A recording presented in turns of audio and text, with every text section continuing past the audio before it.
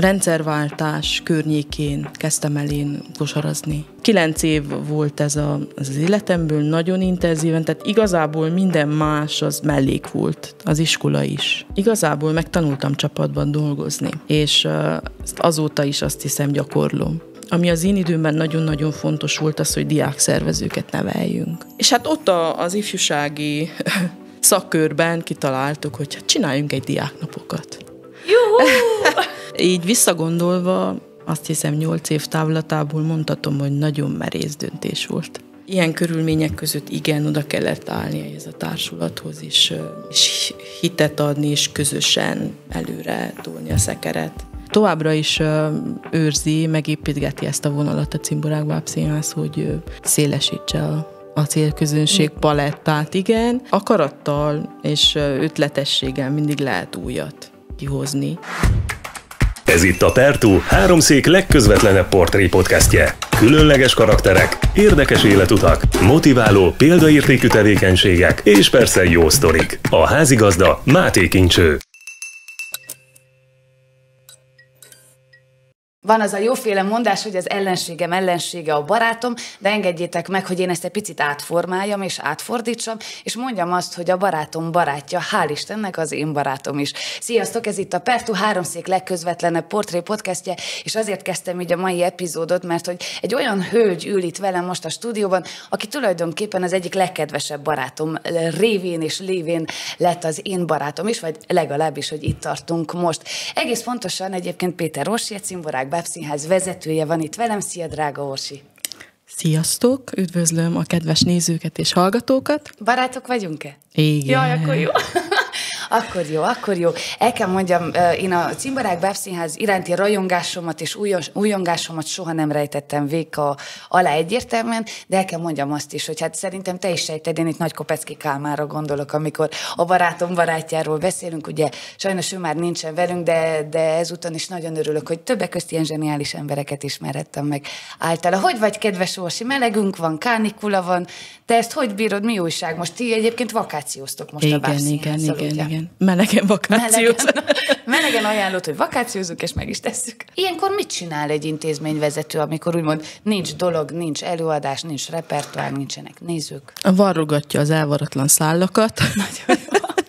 Próbálja a pályázati elszámolásokat a, a végére pontot feltenni, az újakat elkezdeni, és hát menet közben terveződik az új évad, vagy az újabb évadok, amivel csak kell foglalkozni, mert keresnek az alkotók, és hiába mondom, hogy szabadságon vagyunk. Azért egy-két kérdés erejéig mégiscsak kell foglalkozni. Ilyenkor hogy van, hogy ti az évadot mikor fogjátok újra kezdeni, vagy a munka konkrétan mikor fog elkezdődni? Hát konkrétan augusztus 19-én kezdünk neki a munkának. Most ezt az évadot rendhagyó módon úgy hagytuk félbe, vagy úgy zártuk le, hogy elkezdtünk egy új produkciót, és két hét után letettük, most pihen a nyáron, mindenkinek a fejébe, igen, az alkotók fejébe is for érik, tisztul, um, diszletileg, bábilag, előadóilag, és akkor augusztusban ezt vesszük fel, és reméljük, hogy mire kezdődik az iskola, ezt már meg is tudjuk mutatni. Lesz, akkor szeptemberben bemutató. Igen, mindenképp. Azt elárulod nekünk, hogy milyen munkafolyamatot hagytatok akkor félbe? Hát a nagyon népszerű három kismalacsal yes! foglalkozunk. Ah, nagyon jó, nagyon jó. Uh, újra nagy uh, Lázár József a rendezője.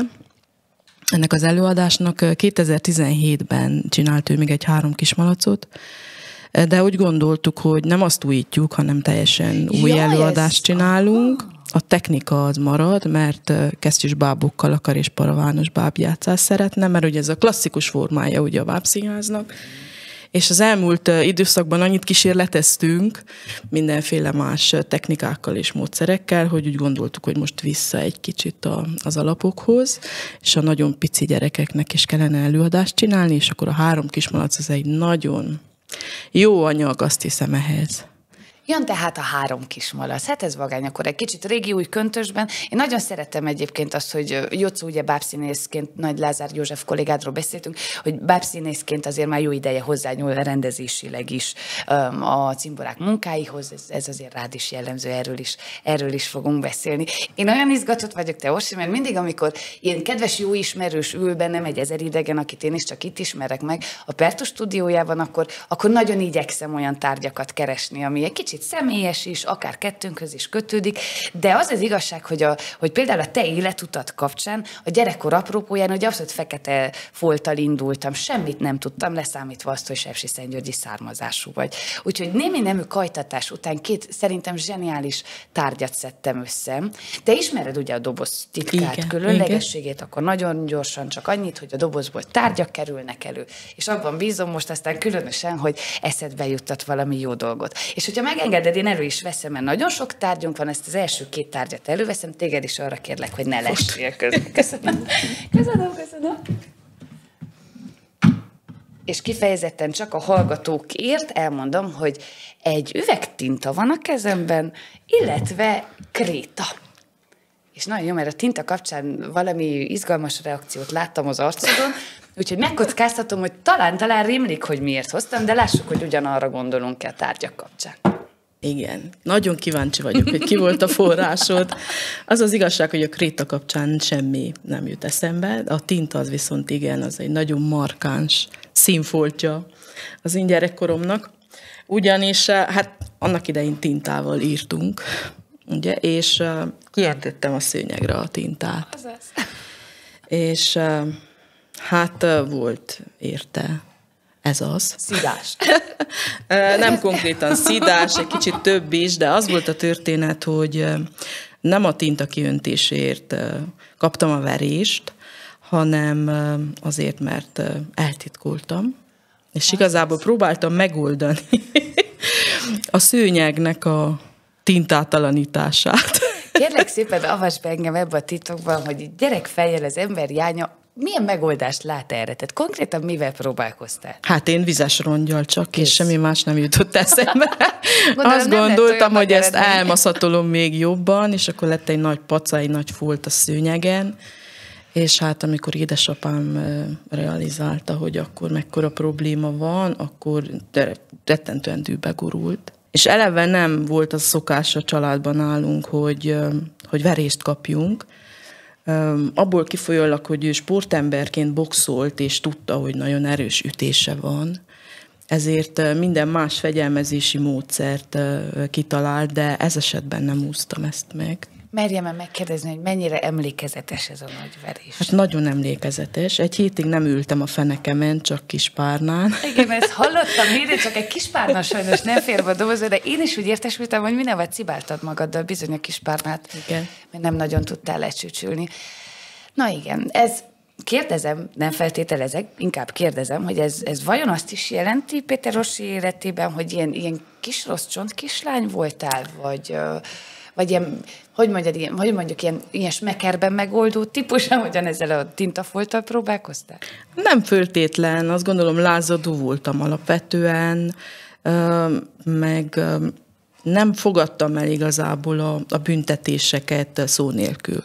Tehát, hogy mindig volt valami gondolatom ez, ez kapcsán, és édesapám gyakorta meséli, hogy igazából három évvel fiatalabb hugom, mikor mellém állt, és ő mondta, hogy a tenyerest az jó nyugodtan lehet adagolni neki, és tartotta a kezét, akkor azt mondta, hogy neki az nem volt kihívás. Tehát a, inkább az volt, hogy nekem, engem próbáljon meg megtenyeresezni, mert hogy nem lehetett. Tehát, hogy én kaptam el a kezem. Haj, oda!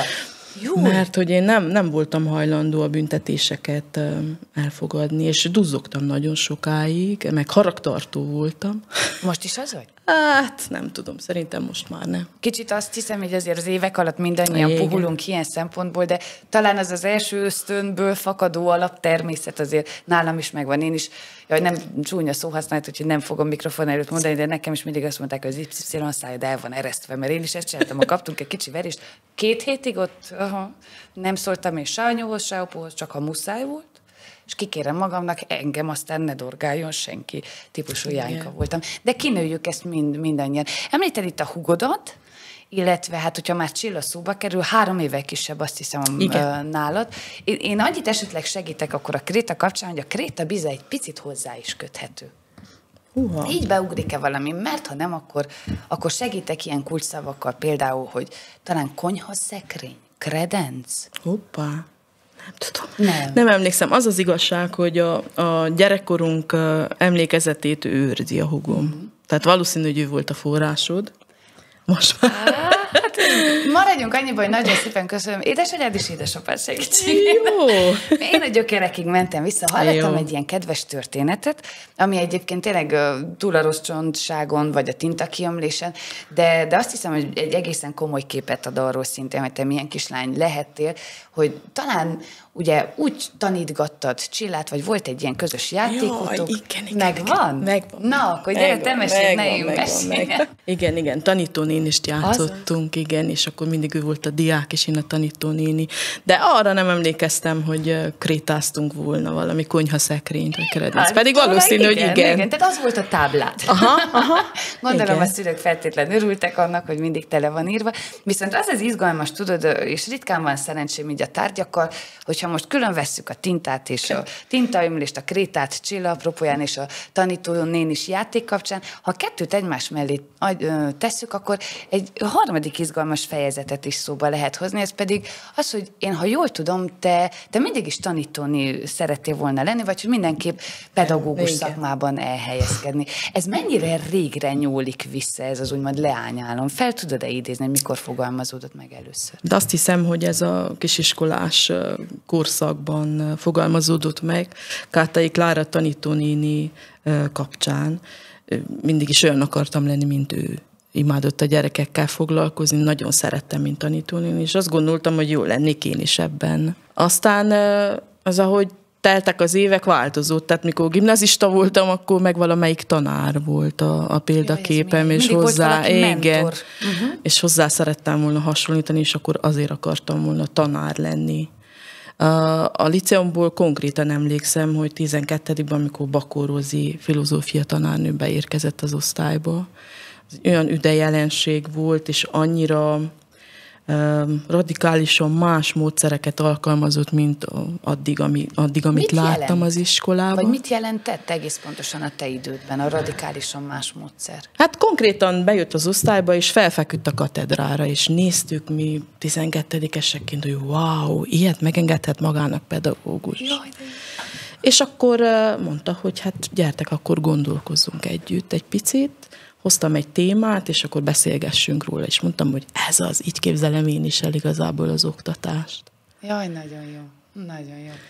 Ez aztán, ha jól tudom, persze most egy picit előreugrunk, meg beelőzi a szekér a lovakat, de ha jól tudom, apropó filozófia és filozófia tanárnő, olyannyira erős volt ez a hatás, hogy te egyetemre is ugye a Bábes Bójai Tudományegyetem filozófia karára ment. Igen, igen, igen. Ezt a filozófiát akkor túl azon, hogy pedagógia és szeretet, és magát nem tudom, a tanítást szeretted volna, a filozófia is megragadt annyira, mint tantárgy, mint gondolatiság, mint irány, hogy, hogy ezt komolyabban elkezdted gondolni? Az, amit amit a 12-es tananyag tartalmaz, azt gondoltam én, hogy az a filozófia.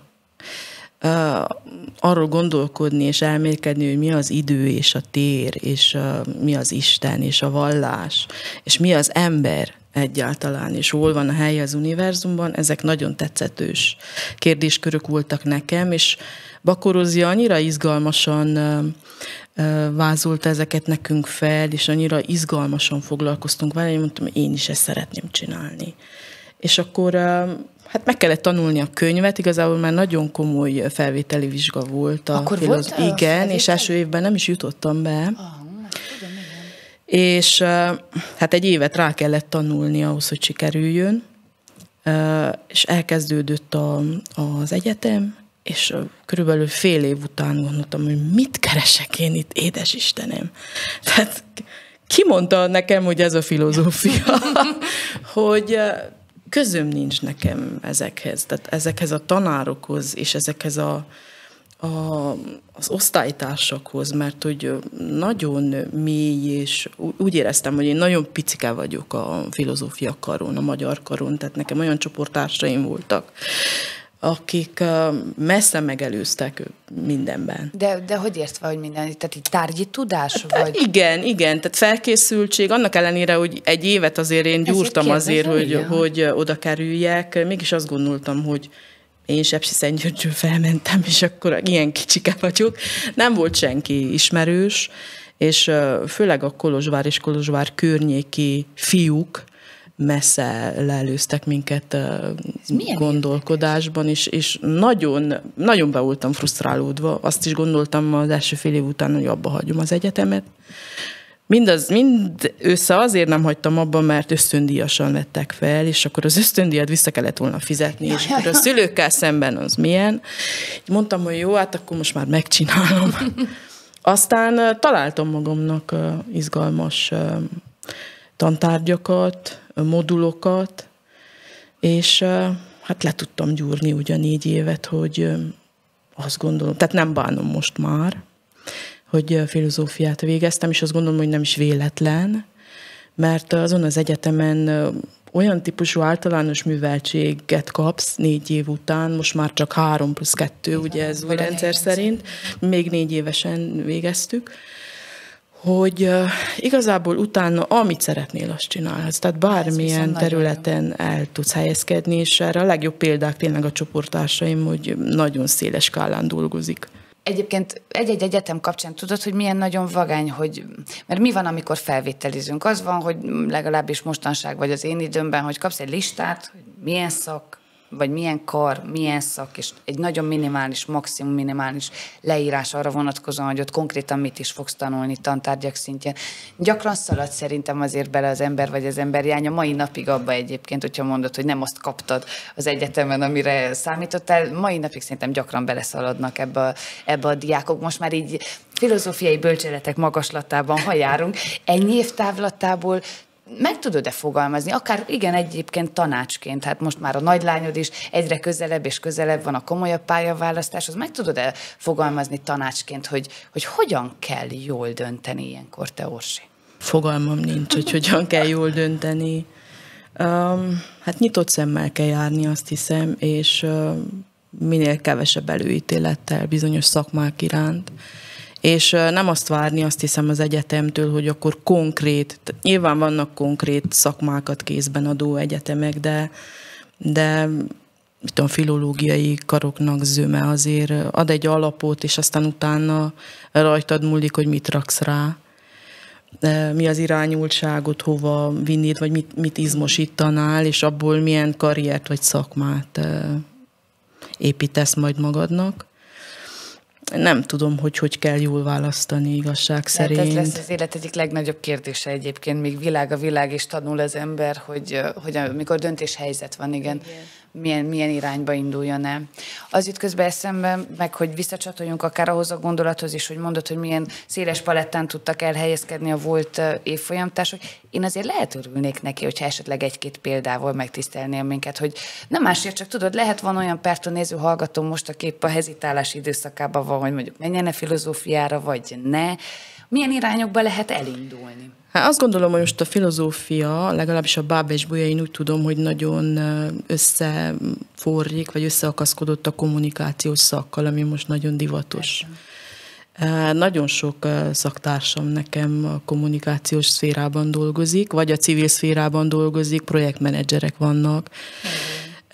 De van, van, volt olyan is, aki tanszékvezető most már egyetemen, akár lelkész, teológus, az, az, az. mindenféle van Lám, intézményvezetők, intézményvezetők is. Igen. Igen. Meg hát ugye még a bábszínházat megelőzően egyfajta művelődés szervező szerepkör. Tehát tényleg, tényleg izgalmas. Jó, ez, én azt hiszem egyébként a szabad ennyi szubjektív vélemény, hogy de tényleg ezek a jó szakmák, amelyek nem leredukálják úgymond az utakat, hanem mint egy jóféle keresztútnál, vagy körforgalomnál adnak egy, egy csomó kijáratot. Kicsit valóban előre ugrottunk itt az egyetemmel. Én azért még kíváncsi vagyok túl a a, gyerekkoron, meg a tanítónéni szeretnék lenni, vagy pedagógus szeretnék lenni éra után, hogy milyen is volt Orsi? Milyen volt az az időszak, amikor te voltál mondjuk kiskamasz Zsepsi Szentgyörgyön? Klasszikus tömbházas létezés lent a gyerkőcökkel, közös mókakacagás, hogyan képzeljük el? Hát az is volt, de azt gondolom, de hogy rövidebb ideig, és nem azért, mert nem szerettem én a tömbház előtt játszani, vagy a játszótéren, hanem negyedikes koromtól egy véletlen folytán elkezdtem kosarazni. Itt akkor álljunk meg egy kicsit. Jó. Csak azért tudjak a dobozomhoz Jó. nyúlni, ha már így ide kanyarodtunk, mert hogy természetesen ennek kapcsán is készültem, Sőt, most egész komolyan egy kosárlabdás játékot hoztam, úgyhogy ezt most egy picit a poharakat odébb tesszük, én gyorsan összeszerelem, és akkor miközben értekezünk kosárlabdáról, és nem csak, akközben játszhatunk is, mit szólsz hozzá. Csak tudjam, hogy, hogy otthon kigyakoroltam, hogy ez, Igen. ez hamar menjen. Ez otthon kigyakoroltam, hogy hamar menjen az egész folyamat, de ne kérdezz meg, hogy emlékszem-e rá. Aha, jó, kosárpalánk kész, és hogyha minden igaz, akkor ezt valahogyan ide be kell akasztani. Az. Orsi kedves, feladat nagyon egyszerűen, gyere mielőtt neki fogunk a komolykodós kosárlabdakörnek, a feladat nagyon egyszerűen az az, hogy kosárra kellene pöccinteni a labdát. Na, csak Nagyon jó lesz, bátran helyezd, úgyhogy kényelmes legyen. Balkezes vagyok. Balkezes vagy? Na, ezt viszont látod, nem tudtam. Íme egy újdonság. No. Hopp.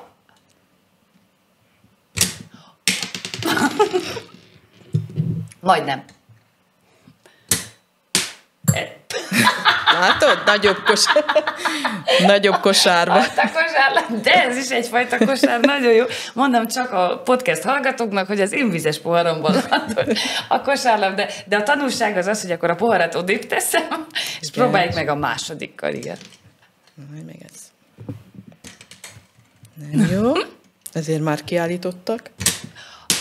Ó, ez szinte, ez szinte. Na még egy, hát ha egy, egy össze. Azt is szinte. És még egy utolsó Túl közel van a kosár, az Lehet, a probléma. Igen. Nem. Ezt szerintem ki kell tapasztalni, nekem is 20-ból kb. egyszer sikerült. sikerült. Jelentem alásan az összes golyónk elgurult ezer millió fele, úgyhogy a kosaras játékpályafutásunk ezennel véget ért. Na, játékon innen és túl, drága Orsi. Igen, igen, hát ezt, ezt azt hiszem, aki Péter Orsit ismeri, az nagyon jól tudja mindenki, kedves, közeli, távoli, bármilyen ismerős, hogy neked a kosárlabda az tényleg nagyon-nagyon fontos szerepet játszott. Már kiskorodtól kezdve, ugye egészen fel 12. osztályig, Igen. hogyha jól tudom. Na meséld el kérlek ezt a folyamatot, hogy, hogy egyrészt milyen szinteket ugrottál meg kosárlabdázás szempontjából, másrészt, hogy mit jelentett ez a te életedben?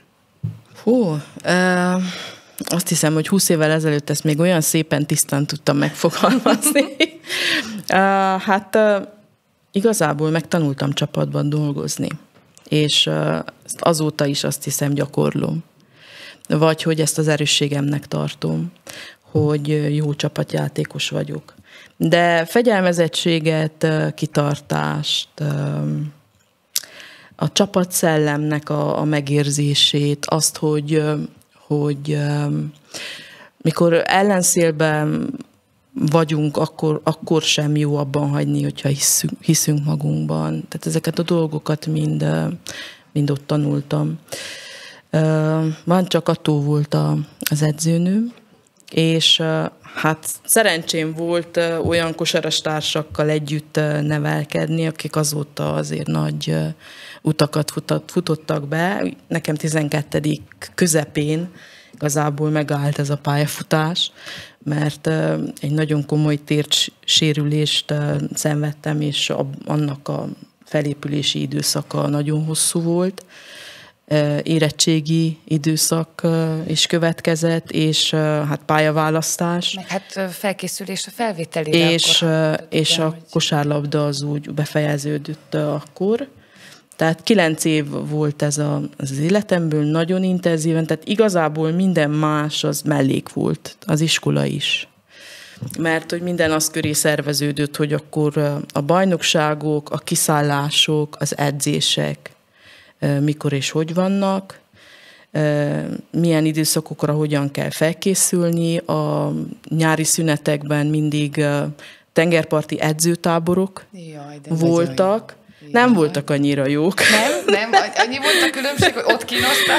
Igen, nem, nem voltak annyira jók, mert akkor sem bírtam a meleget, és és nagyon komoly edzéstervekkel mentünk le tíznapos edzőtáborokba, reggeli és esti edzésekkel, és nagy kánikulában, tehát ott olyan szerű állóképességet szedtünk magunkra a tíz nap alatt, amit aztán itt a labdás edzésekkel erősített a, az edzőnünk, és kezdhettük a bajnokságot igazság Az nagyon-nagyon jó felkészítő volt akkor igen, ilyen szempontból a komoly megmérettetésekre.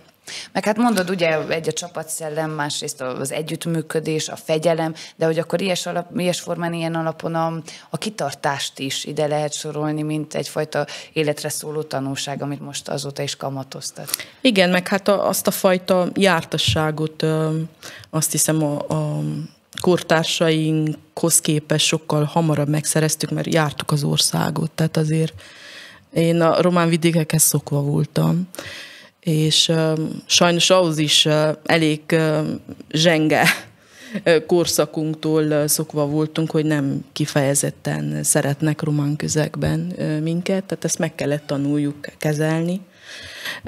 Alapvetően is úgy állni mindig a pályára, hogy általában ellenünk voltak.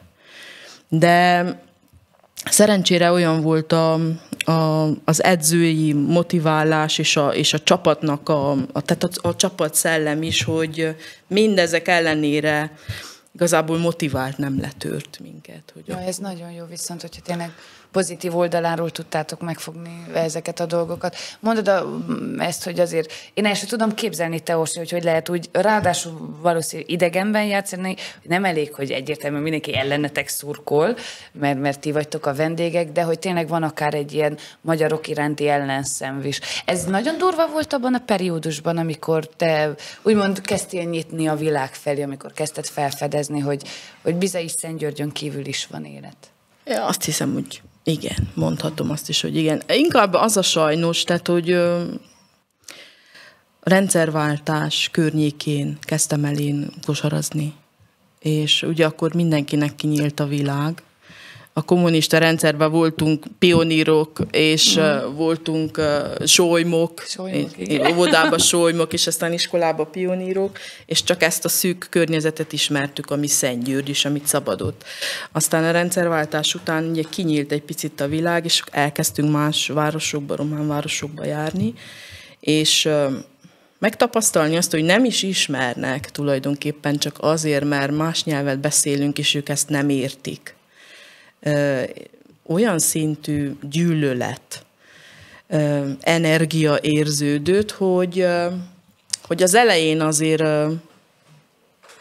nehéz volt kezelni, de aztán megtanultuk. Ez is megedzi az ember, igen, nem? Igen, igen, igen. tehát hogy ott vagyunk, ugye, hogy, hogy, hogy ez ilyen szempontból is megedz valahol mert valószínű, hogy mindaz, amit megéltél te, akár így ugye nemzetiség kérdés, vagy hogy hova tartozás szempontjából negatívum, az tulajdonképpen, hogyha átfordítjuk, akár egy, nem tudom, szakmai konfliktus helyzet, tudod, valami olyan szituáció, ahol helyt kell állni az életben, vagy ahol szúrás, bántás ér, és Igen. ehhez képest talpon kell tudni, hogy mond maradni, ez azt hiszem személyiségfejlődés szempontjából is egy, egy fontos tényező. Van még egy történet a te életednek szintén ezekhez az évekhez ügyekhez kötődően, ami, ami kapcsán ugyan hoztam tárgyat, de nem vagyok biztos benne, hogy, hogy bátran kérdezhetek, vagy te bátran mesélsz ennek kapcsán, de lássuk, előveszem azt a tárgyat. Lehet a Pertó asztalára azt mondani, hogy nem lapozzunk, jó? jó? jó. És akkor azoknak, akik csak hallgatnak bennünket, elmondom, hogy nemes egyszerűséggel egy, egy darab rongy van a kezemben, és Isten igazából ez a tárgy az akkor lenne teljesen helytálló, vizualitásában sokat nem osztana és szorozna, de hogy a kloroformál be lenne áztatva, vagy át lenne áztatva. És akkor az arcodon látom most, ja, ájdiba bőrös lettem. Látom látom az arcodon, hogy, hogy leesett a tantusz, hogy mi a propóján. És itt tényleg abszolút de rád bízom, hogy, hogy te uh-huh. döntsd el, hogy ebből a történetből mennyit és mennyire szeretnél megosztani velünk. Nem élem azt most már meg traumatikusan. Volt talán amikor történt volt, akkor egy, egy év, amikor azért úgy mentem az utcán, hogy mindig megnéztem jobbra-balra, előre-hátra, hogy ki, ki van körülöttem. Az esetről konkrétan beszéljünk. Edzéseink mindig este voltak. És egy nagyon esős áprilisi napon, most már pontosan az évre nem emlékszem, azt sem tudom, hogy kilencedikes vagy tizedikes voltam, én egyedül mentem haza a Mikestől edzésről, és a Domb utcába laktunk. Ez körülbelül egy olyan 15-20 percnyi séta. És soha nem féltem, tehát nem, nem volt ez nekem probléma, hogy akkor kelljen kísérgetni. És most sem történt igazából semmi, csak a tömbházban. Ugyanis úgy neveltek az én szüleim, liftes tömbházban laktunk a nyolcadik emeleten, és úgy neveltek a szüleim, hogy azért legyek tisztelettudó, hogyha valaki jön be az ajtón, és én már a liftben vagyok, akkor én azt várjam meg, mert neki az idő, míg még visszajön a lift a földszintre, és ne legyek otthonba, hogy becsukom az ajtót az óra előtt.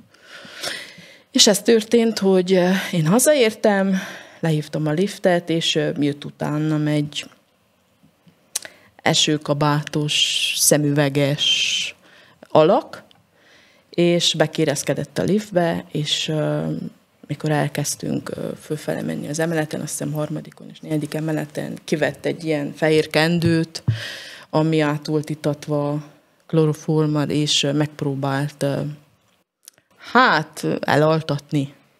Hogy mi volt a szándéka, fogalmam sincs valószínű, hogy rabolni akart valakit. Én azt gondolom, hogy nem én voltam a célpont, csak éppen engem kapott el, és én azért az edzések folyamán elég jó fizikai kondícióban voltam, viszont lélek jelenlétem is volt, ugyanis ez a kendő, ez rákerült az arcomra, és az ő két ujja bekerült az én szájamba, és megharaptam.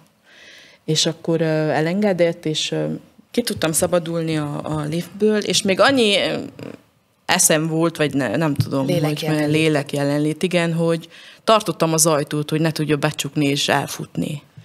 Menj már! Annyi lélek jelenlétem viszont nem volt, hogy kezdjek kiabálni, hogy jöjjenek ki a lakók, és fogják meg. és amitán látta, hogy nem akarom az a liftajtót becsukni, úgy döntött, hogy akkor leszalad a lépcsőn. És akkor én bementem a lakásba, és nagy nyugodtságomban szóltam, hogy akkor épp megtámadtak. És édesapám egy másik lakásban volt, édesanyám eszeveszettő kiakadt. Hát el is hiszem, gyorsan szóltak édesapámnak, és édesapám el is indult utána, de nem tudták megfogni elillant, csak lábnyomait találtak a sárban, mert esős idő volt kint. Hagyta a zsákot. Na igen, mert hogy ez is egy fontos info, hogy valami motorbicikli húzat vagy igen. zsákszerűség, zsákszerűség volt, volt, igen. Hagyta a zsákot, maradt a kis kendő, és akkor a, a rendőrség ez alapján kezdett el nyomozni. Azt hiszem, hogy egy fél év volt körülbelül, amíg, amíg lejárt ez a nyomozás másnap nyilván a rendőrségen kezdtem a napot, arra emlékszem, hogy két matek órám volt az iskolába, és a második matek óra végére értem be. Matek tanár Romszál Szárpád, ő volt az osztályfőnök is, és amire beértem az iskolába, már tudták a történetet, csak az az anekdotikus része, hogy úgy tudták, hogy már benne voltam a zsákba. Ja Istenem, ez a városi pletyka kiszínezi hamar a történések. Ó, Istenem. Na, és uh, hát uh, én szerintem azóta se eltalálták meg, hogy ki lehetett a ez olyan ijesztő. Elkövető. Mindig azt mondjuk, hogy a, tényleg filmekben, sorozatokban Igen. látunk ilyet ez visszapörgetve ugye az időkerekét nem, tehát nem, nem most volt, amikor azért sokkal szabadabb, tényleg elég nagy bolondságok úgy megtörténhetnek, Igen. akár sajnos már Szentgyörgyön, Háromszéken, vagy egy sima egyszerű Erdélyk is, nagyvárosban is.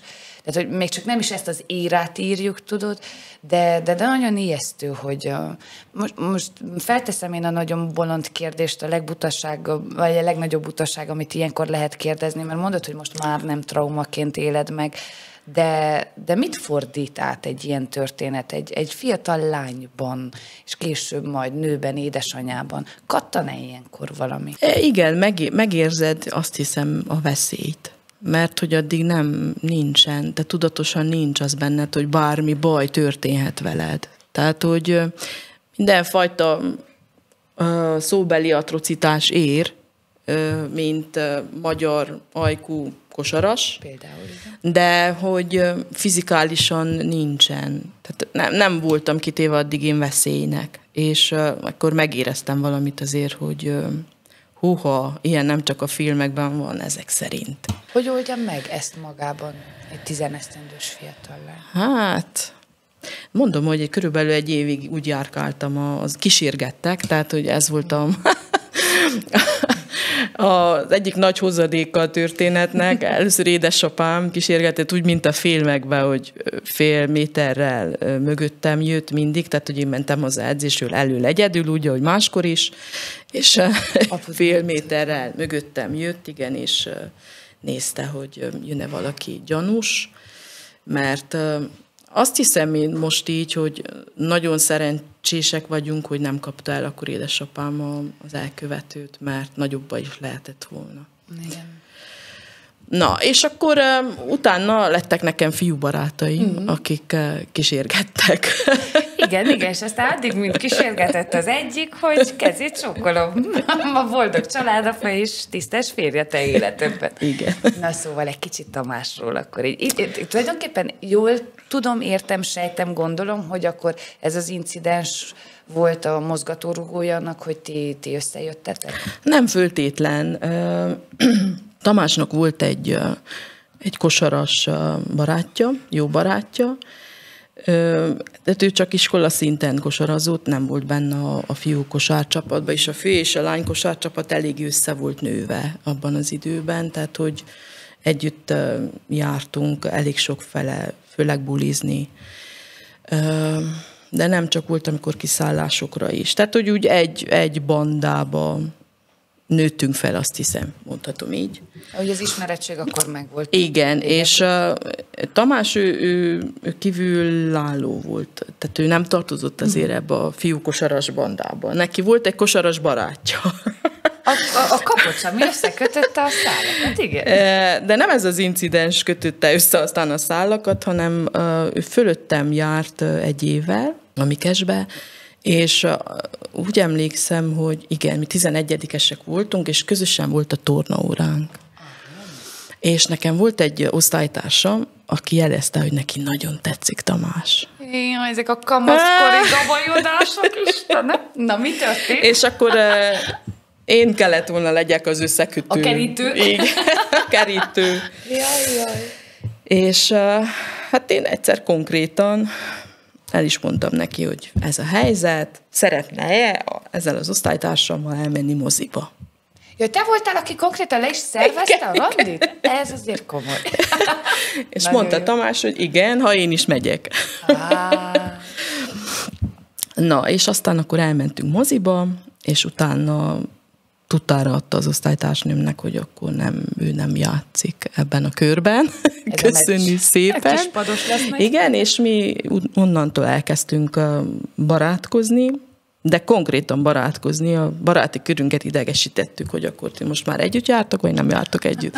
És mondtuk, hogy mi nem járunk együtt, mi csak barátok vagyunk. Na jó, most már egyszer döntsétek el, hogy mi van. Lehet mindenki más a társaságból tudta azt, amit ti még nem. Még nem, igen. És aztán körülbelül másfél év után úgy, utána alakult ki, vagy, vagy kezdődött el. Lett ebből egy kedves szerelem. Igen, és egy kedves és hosszú. Hosszú, igen, ez a másik meg, hogyha jól matekozom, akkor akkor távkapcsolat is, mert ugye nem okay. egy, apropó, hogy kanyarodjunk vissza az egyetemi évekhez, nem egy városban voltatok egyetem. Lett is egy ugye effektív távkapcsolat is belőle, mert hogyha én jól tudom, akkor ti ráadásul nem is egy közös városba kerültetek össze, úgymond egyetemistaként, hanem azért ide-oda látogatások, stb. stb. volt. Igen, igen. Igen, ez a szüleimnek a kedvenc történet az ide-oda látogatás. Igen, hát Tamás Székelyudvarhelyen végzett egyetemet, és én Kolozsváron voltam. Kolozsvár és Udvarhely között elég nehéz a vonatcsatlakozás. Ja, igen, igen. A, nem vagyunk stoppolós fajták egyikünk sem, úgyhogy elég érdekesen kellett megoldani a találkozásokat. De sikerült. Sikerült, igen, igen. Ráadásul szoktuk mesélni a lányunknak, hogy hát tudod, hogy abban az időben nem volt mobiltelefon. Na igen. És uh, úgy hívtuk egymást, hogy meg voltunk egyezve, hogy melyik órában is. De ő néninél lakott, ott volt telefon, ilyen fix uh-huh. telefon, és én ilyen utcai gombos, gombos telefonról, telefon. igen, hívtam. Aj, ez azért nézd meg, a mai világban már olyan szinte hihetetlen, mindig elmondom, mikor hasonló történettel Igen. találkozom itt a Pertó aztánál, hogy most hogy egyrészt megy a rinya is, hogyha három napig külön vannak az emberek, de, de hogy van videócset, de hogy tényleg egyetlen petyintéssel beírod azt, amit elmondhatnál, Igen. vagy kedved van hozzá, ehhez képest rendezvút szervezni, közösen tárcsás, meg gombos telefonok mellé, hát ez már, már olyan, mint nem tudom, 17. században szerelmes levelet írni. Buki ki a romantikus. De hát leveleket is írtunk, de nagyon sok levelem van. Igen, na de, de hát szemmel láthatóan, ügyesen, sikeresen átvészeltétek ezt a, ezt a külön töltött időt. Igen. És most már mondjuk el azoknak, akik esetleg nem tudják, hogy boldog nagylány, boldog szülei vagytok. Mondom, hogy nagylány, mert én úgy tudom, Boglárka most nyolcadikkal végzett. Nyolcadikkal végzett, igen. 16 éves lesz októberben. Ó, Isten értese. Sokáig is egyébként a kosarazás itt van az orrunk előtt, egy kicsit a te nyomdokaidba is lépett ilyen szempontból, jól tudom, ő is komoly kosaras. Igen. Úgyhogy nektek a kosárlabda mai napig ilyen nagyon nagy szerelem, igen, igen, nagy szerelem, igen, igen. Milyen érzés egyébként, ha már itt tartunk, látod, mondjuk nem pályán belül megélni a dolgokat, hanem, hanem valóban a lelátóról szurkolni valakinek, aki fontos? Hát egy nagy ambícióm volt nekem ma azt hiszem, hogy az egyetemi évek után, hogy lerakjam az edzőit. Nagyon szerettem Volt volna edzői. Ó, és milyen profi És aztán volna? nem, keresztbe Tényleg vágták a terveimet. Miért? Hogyan? Nagyon elbizonytalanítottak a, a tanügyben, tehát hogy én úgy jöttem haza az egyetemről, hogy akkor én a Mikes Kelemenben tanár leszek. Tehát, hogy Tehát ez a pedagógus álom gyerekkorból még mindig tartott. És az utolsó évet az egyetemen úgy végeztem, hogy távoktatásban, tehát csak modulokban jártam vizsgaidőszakra fel, meg felkészítőkre, tehát amúgy is tömbösítve voltak az utolsó éven már a tantárgyak. És uh, itthon uh, a románt helyettesítettem, román tanítottam nyolcadikos, 7-8-osoknak, és a, az iskola csapat, a liceumi iskola csapatnak a, nem is az edzéseit, hanem inkább a, a mérkőzéseit koordináltam uh-huh. Sztojka Péter mellett, és akkor volt egy ilyen nagy lendületem, hogy akkor én milyen jó lennék edzőnek. És egyébként és aztán szerintem igen. Ezért aztán nem lettem. Nem lettél. Ó, ó. Na, erre mondják, ugye egyrészt a mi lett volna, ha, másrészt Igen. én erre szokom mondani, hogy nincsenek véletlenek. Igen. Mert lám, lám, milyen, milyen zseniális irányokba terelődött a te életed, ugye egyetem után akkor haza, illetve utolsó éven, ahogy mondod, már itthon voltál, de ha jól tudom, egyetem után akkor el is helyezkedtél, akkor Kovászna megyei művelődési központ munkatársa lettél, és egy olyan időszak, egy olyan éra indult el, azt hiszem a te életedben, ami, a, ha nem tudom, értékelni kellene, akkor talán a legtöbb ilyen piros pontot vagy csillagot ehhez a periódushoz lehet tenni egyelőre. Én az egyik fontos pillére kapcsán hoztam is egy tárgyat, mert hogyha Kovászna megyei művelődési központ és Péter Orsi, akkor nekem a következő jut eszembe. Jó. És elő is veszem. Orsi, egy cipzár van a kezemben. Oh! Jaj, de jó! Jaj, de jó, mert Édeske, tudod, hogy miért igen, cipzár? igen. Balázs Igen. kollégánk nem volt cipzáros, és most nagyon, nagyon szigorúan néz minket. Igen. Elmeséled a cipzárt? Hogy miért cipzár, kérlek? Hogy miért, lehet, hogy ezt te kéne elmesélt, hát hogy miért cipzár. kiegészítem. 2002-ben kerültem a művelődési központhoz, és um, hát előtte azt nem mondtuk az egyetemi évek alatt, hogy azt hiszem, hogy a legmaradandóbb élményem az a KMDS diáknapok volt. Jaj, hát persze, hogy gyökeredzik lám ez is, Igen, így és van. hazajöve, bekerülve egy olyan kulturális intézménybe, ahol igazából váltás volt, tehát hogy volt egy, egy idősebb szakembergárda, aki nagyon jól csinálta a, a munkáját, és közben bekerültek az intézményben nagyon fiatal, feltörekvő, ambiciózus emberek. Igen. És olyan igazgatónk volt, hogy szabad pályát engedett igazából, hogy az elképzeléseinket megvalósíthatjuk projektek formájában. És hát az intézményekkel, civil szervezetekkel, diáktanácsokkal kapcsolatot tartottunk, meg úgy emlékszem, hogy volt egy, egy kezdeményezés, egy civil fórum, ahol összegyűltek ezek a tehát ezeknek az entitásoknak a képviselői, és akkor azon beszélgettünk, hogy hogyan tudna a művelődési központ hozzátenni az ő munkájukhoz, fejlődésükhöz. És hát ott az ifjúsági szakkörben kitaláltuk, hogy hát csináljunk egy diáknapokat. Juhu! Szentgyörgyön. Tehát első körben 2005-ben volt ennek az első kiadása, és Szentgyörgyre korlátozódott. Nagyon aktívan részt vett a Mikes és Mikó diáktanácsa, plusz a, azt hiszem, hogy akkor már volt Kovakő, igen, hogy nem, hogy nem. Ők is betársultak, és hát elindítottunk egy ilyen nulladik évet, azt hiszem, most már így visszatekintve mondhatom azt, hogy az első az egy ilyen nagyon kísérleti év volt, körülbelül két hónap alatt szerveződött meg az első diáknapok öt csapattal, de rendkívül jó visszajelzésekkel is. És hát azt hiszem, hogy eufória volt a diákok körében, hogy végre valami, ami, ami tényleg nekük szól, nagyon, igen, igen, és róluk szól. És akkor a következő évtől kezdve ezt, mivel megyéb, megyét lefedő művelődési központ voltunk, ezért ki kellett terjeszteni, de hát szerettük volna is. Kovászna megyei szintre, és a következő kiadásban ez úgy történt, hogy a Szentgyörgyi csapatokhoz kellett csatlakozzanak olyan résztvevők, akik Kovásznáról, Barótról vagy Kizdivásárhelyről jöttek, hogy nézzék meg, hogy milyen. Kicsit Ez a fajta bele. vetélkedő, igen, és a rákövetkező évben már, már fogadtunk idegen csapatokat. Voltak külön önálló. Külön, mond, igen, kobakések, ahogy igen. hívjuk őket.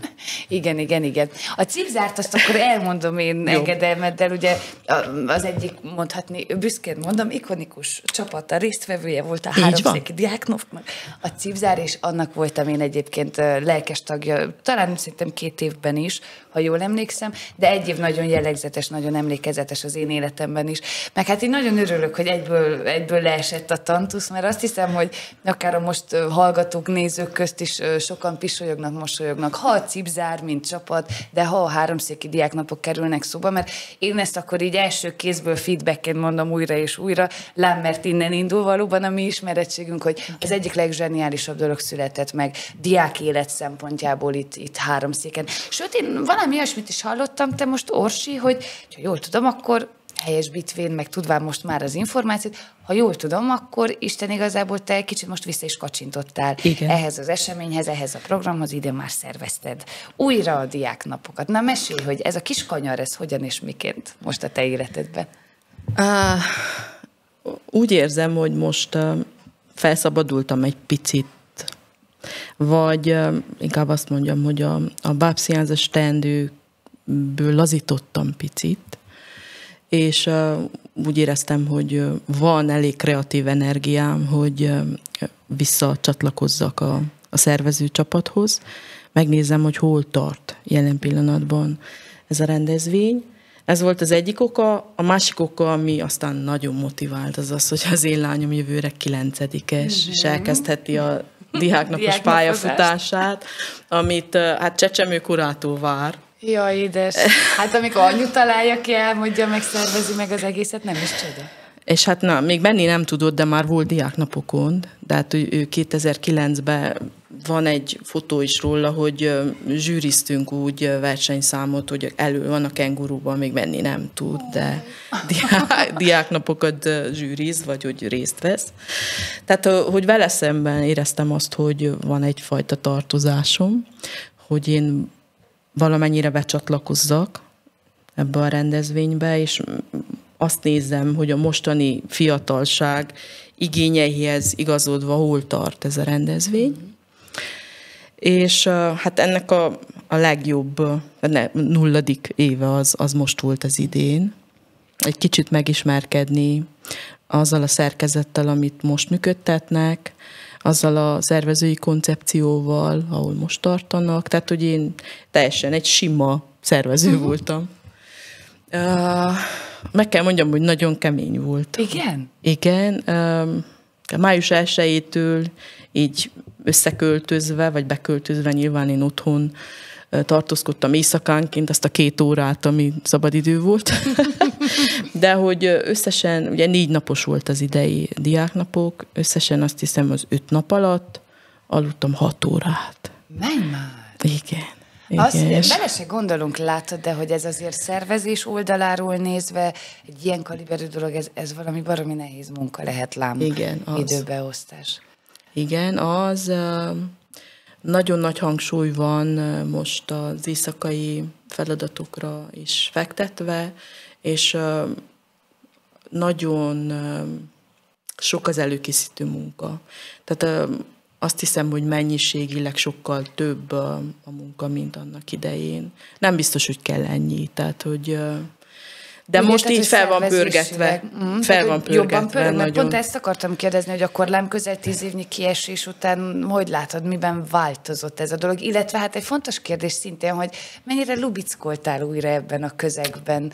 Mennyire mozogtál otthonosan? Hát. Hát nagyon öregnek éreztem magam.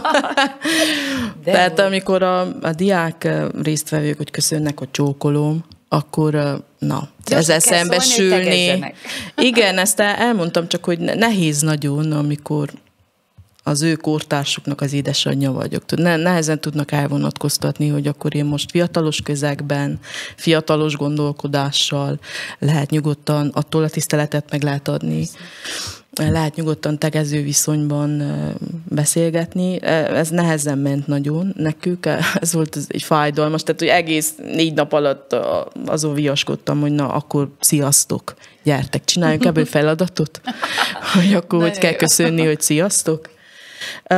Azt gondolom, hogy nagyon sokan már nem nagyon tudják, és nem is föltétlen érdekli, hogy mik ennek a rendezvénynek a gyökerei, vagy hogy nekem milyen kapcsolódásom van ehhez.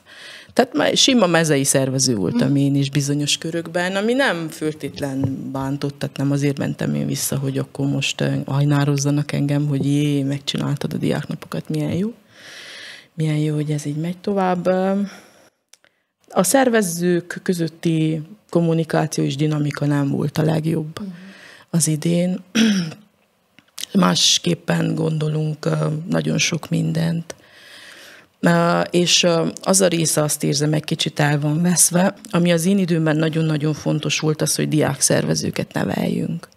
Most is van erre törekvés, csak nincs következetesség. Jaj, jaj, jaj. És nincs ennek konkrét stratégiája. Miközben, tehát tényleg ez egy, az mellett, hogy hogy a, a diákság a három nap alatt szórakozzon, ez egy nagyon fontos célkitűzés volt mindig a tíz kiadás alatt, amit én csináltam, hogy akkor legyen akinek hátrahagyni majd, legyen aki csinálja, aki azt a legyen aki megtanulja, és majd esetleg a saját egyéni életében ezt tovább tudja kamatoztatni, mert van ilyen szervező, barát, ismerős is, aki azóta már karriert futott be, mert a diák, diák napok szervezésével kezdte az ő művelődi szervező életét. Igen, igen, nem, egy kicsit olyan ez a diáknapok is. Látod, mint a filozófia, egy csomó kaput kinyit, igen, igen. hogy az ember boldogulni tudjon.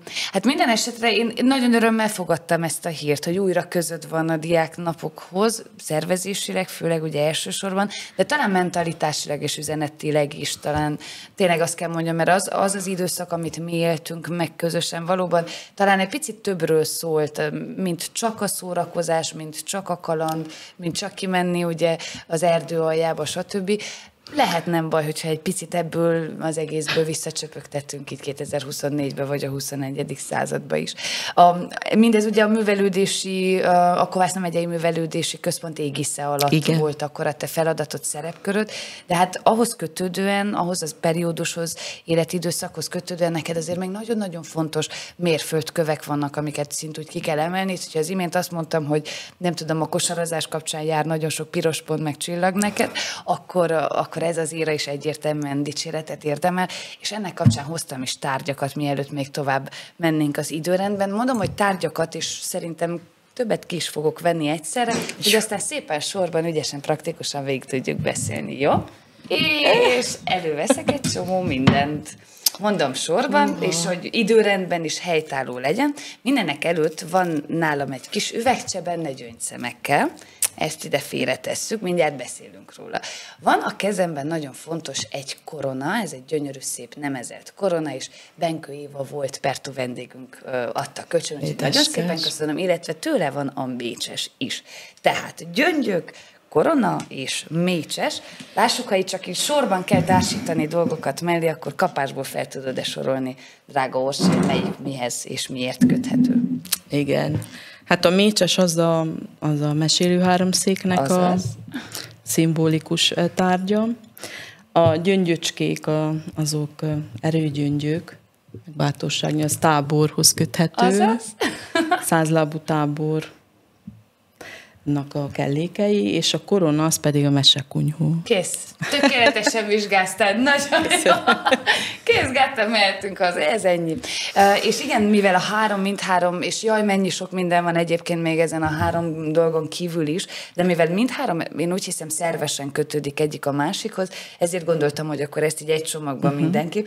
Ha egy picit lineárisan akarunk haladni, akkor azt hiszem, hogy a mesebarangolás, vagy a Magyar Népmese napjának megünneplése, és egyáltalán valóban a tábor szervezés kapcsán talán a gyöngyöcskékkel kell kezdjünk, mert ha jól értettem, és hogyha jól számolom vissza az éveket, akkor talán ez a, az egyáltalán a népmesének a fontosságával való foglalatosság volt az első lépcsőfok, amit egyébként mondhatni Benkő Évával, illetve Prezsmer Boglárkával akár közösen is, de megmásztatok.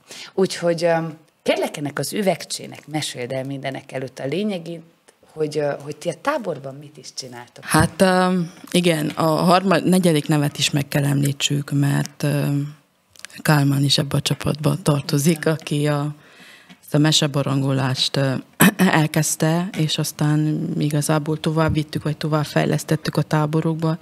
Nem is tudom, hogy melyik te a Borospataki táborról beszéljek-e, hogy ott próbákra volt felfűzve az egész hét, és akkor a a gyerekek csapatokba gyűjtöttek minden egyes próbához tartozott egy gyöngy, és hogyha teljesítették a próbát, akkor ezt megkapták, és ezek mind erők. Uh-huh. Meg volt, hogy melyik milyen meseerő, bátorságerő, igen, és hogyha jól értettem, mert a lehető legjobb helyen kajtatunk, én is Igen. ezt a történetet hallottam.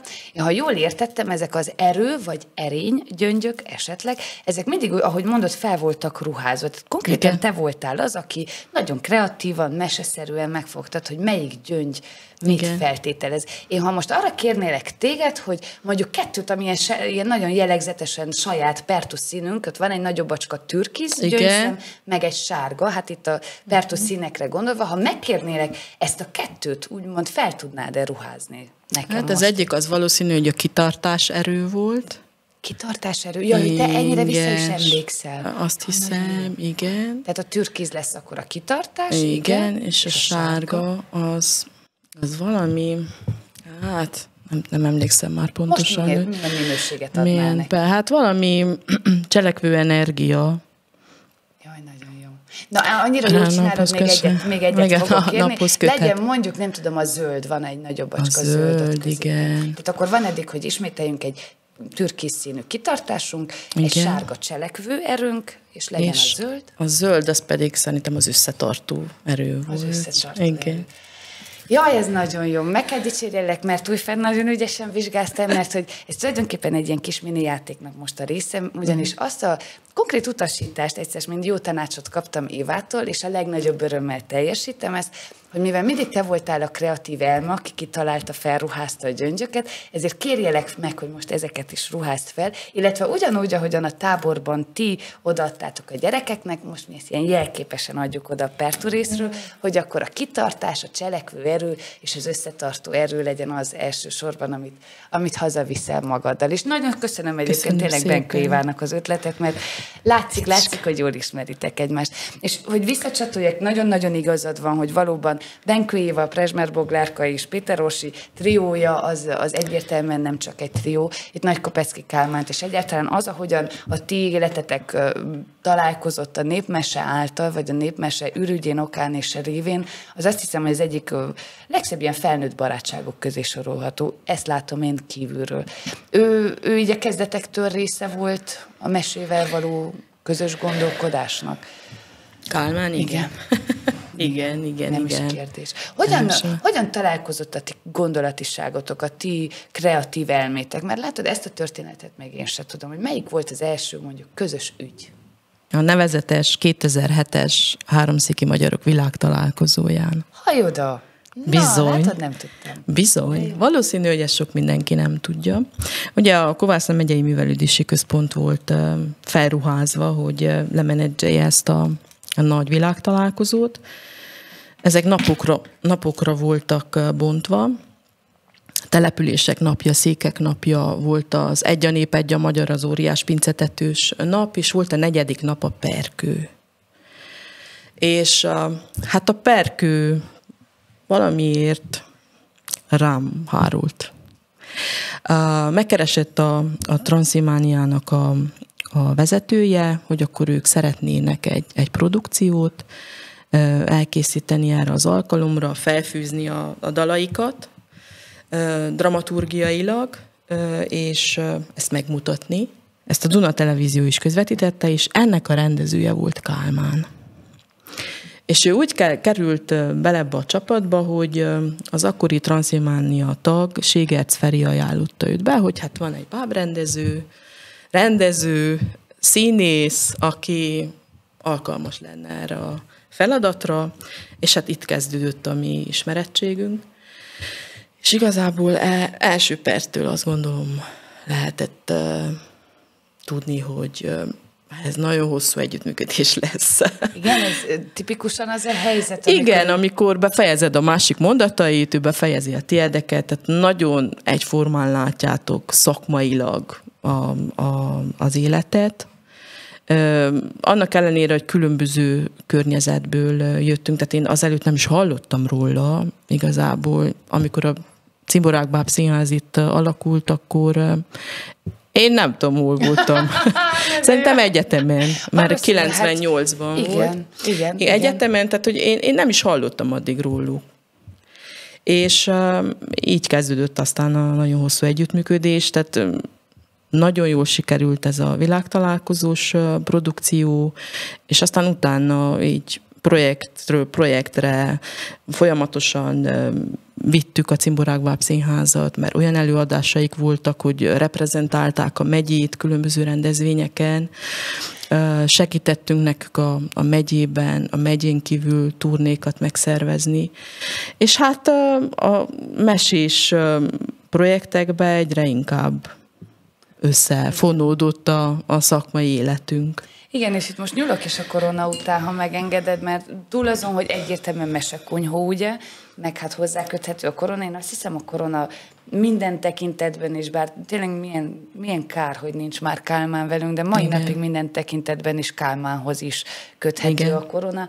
Ugye a mesekunyhos történések alatt ő volt a király. Igen. Tehát az a király, aki kapcsán egyébként településeken ma élő teljesen normális hétköznapi emberek szentül elhitték, és úgy kezelték Igen. őt, mint király. Én azért szeretem nagyon ezt a mesekunyhos történetet, te Orsi, és valószínű, hogy aki nem tudja még, hogy miről van szó, teljesen idegenként hathat, úgyhogy egy apró kicsi magyarázat kell hozzá, de hogy tényleg olyan szinten csempésztétek be a, a népmesét, a, ebben a mai faramúci digitális buta világba, hogy a csoda, amit megél a gyerkőc egy meseolvasáskor, hallgatáskor, az a csoda megtörtént veletek, velünk, vagy bárkivel, aki, aki ebben részt vett. Elmondod nagyon röviden, hogy a kunyhó, a mese kunyhó, mert ugye ez mint projekt, mint kezdeményezés is zseniális volt szerintem.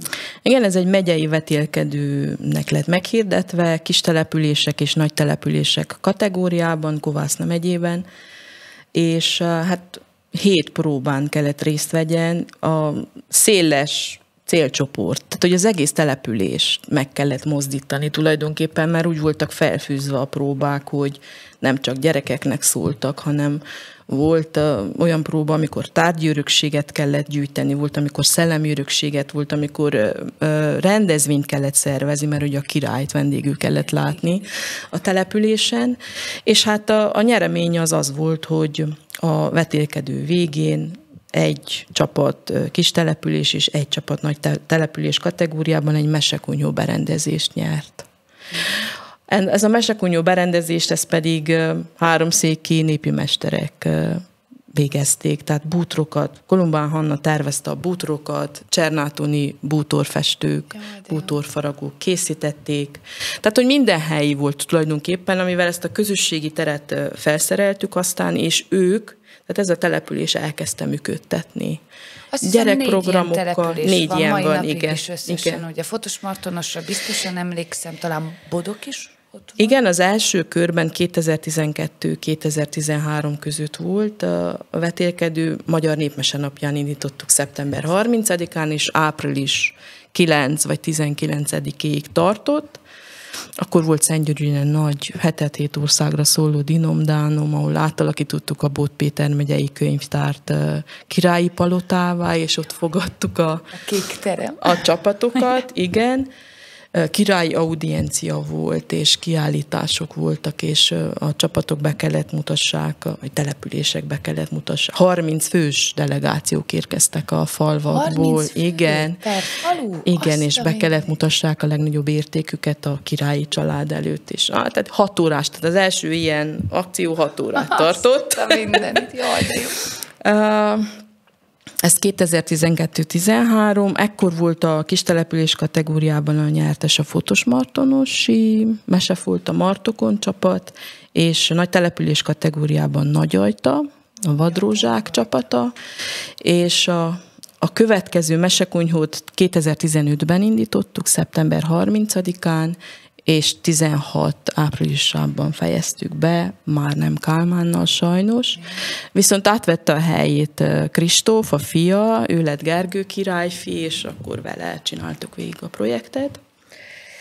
Az is nagyon megható volt igazából, amikor 15 decemberében megtudták ezek a résztvevő települések, hogy a király az meghalt.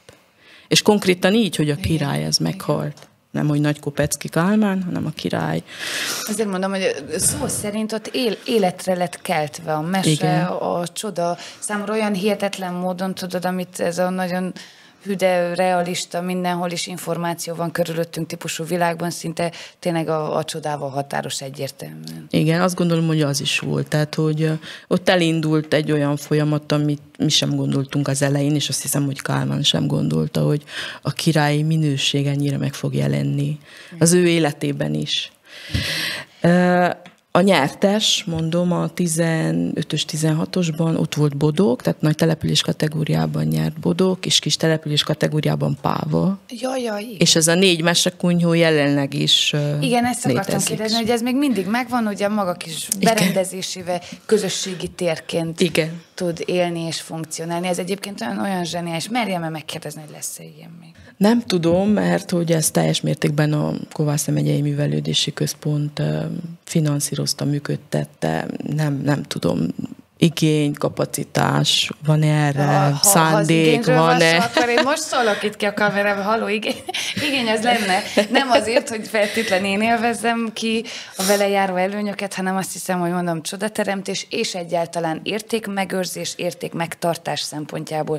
És közösségépítés. És közösségépítés. Igen, és ha már közösségépítés át is tudunk kacsintani ilyen szempontból, látod, a mesélő, Igen, a mesélő háromszékre is az is egy valami zseniális, zseniális dolog. Ez ilyen több nap, erről emlékszem, hogy meg a Rádió Gagában, vagy talán akkor még Friss FM néven ismert rádióban, de hogy interjúztunk is, ez ilyen több napon át tartó. Igen, ez kilenc napos mesefesztivál. Kilenc napig csupa mese. Csupa mese, ez Igen, de jó, ez igen. volt a Arra kis- emlékszem, hogy ezt említettem, hogy a, interjúztunk a rádióban, és arra emlékszem, és hogy tudjuk konkrétan kötni a tárgyat is, hogy volt Meselánk címmel. Mese mécses. Mese mécses, bocsánat. Igen. Volt egy, mert ez ugye, ha jól emlékszem, akkor ilyen különböző alprogramokat ölelt fel Igen. a mesélő háromszék, és abból volt az egyik ez a kis történet. Na, de rád bízom, hát te tudod a legszebben összefogni ezt. Hát 2014-ben álmodtuk meg ezt a, az első mesekunyhó után.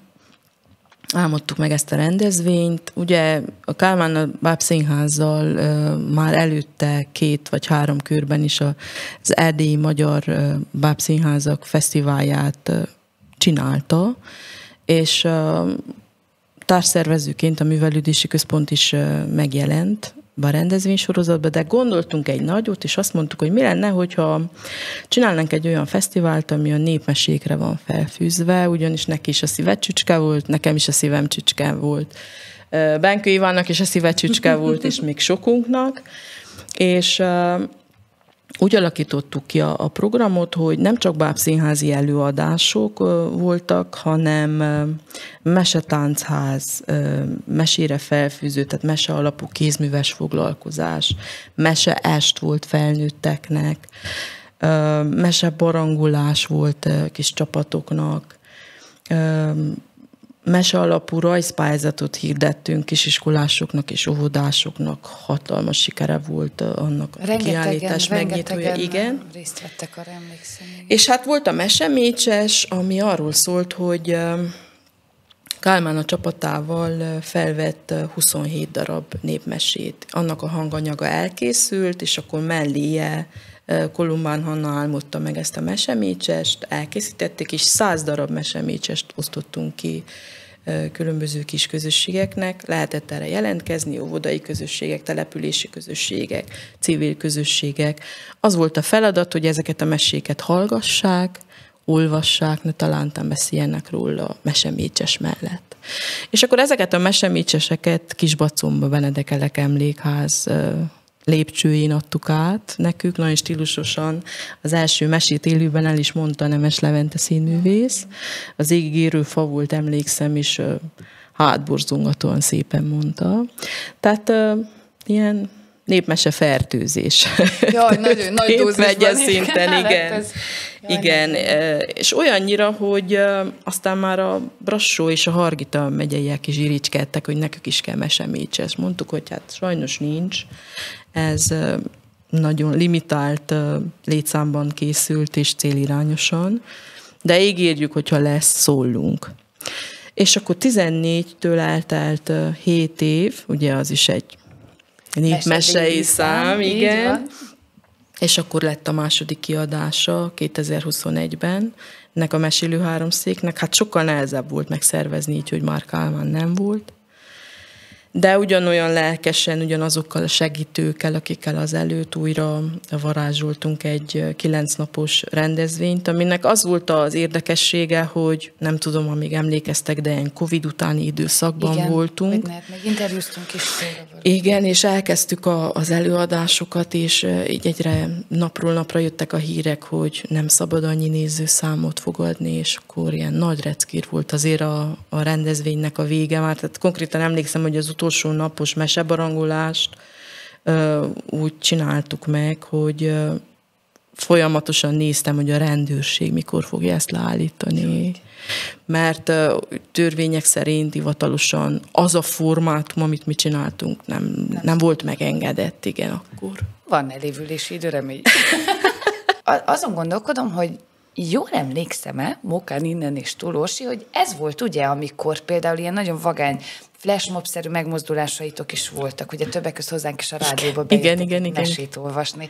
Zseniális volt kívülről is, akár újságíróként látni, de egyébként azt is zseniális volt látni, hogy hét év kiesés után az én mércém szerint egyértelművé vált, hogy az igény, apropó, kikacsintok újra az illetékeseknek, hogy az igény megvan rá, hogy a színvonal, hogy a nívó az egyértelműen adott, meg hát a csoda teremtéshez kanyarodunk vissza újra. És, és itt azt hiszem, hogy Kálmánt, ha már a csoda teremtés újfent szóba kerül, akkor, akkor szorosan mindez mellé köré kell, kell társítani. Milyen volt úgy hozzá piszkálni idézőjelesen egy újabb eseményhez, rendezvényhez, ami, ami tulajdonképpen ő már nem tudott ugye ott lenni, de, de valahol mind azt képviseli, ami, ami az ő hite mentalitása volt. De ezt ilyen, nem tudom, célodul is tűztet ki talán, én azt érzem, ugye? Igen, igen. Hát igen, az a fajta örökség, amit ő hátrahagyott nekünk, ezt azt gondolom, hogy vinni kell, mert hogy ő azt annyira az utolsó éveiben annyira letisztította, és annyira szépen át volt ez adva, hogy kár lenne ezt bármelyik sarokba bedugni, és nem, nem csinálni tovább.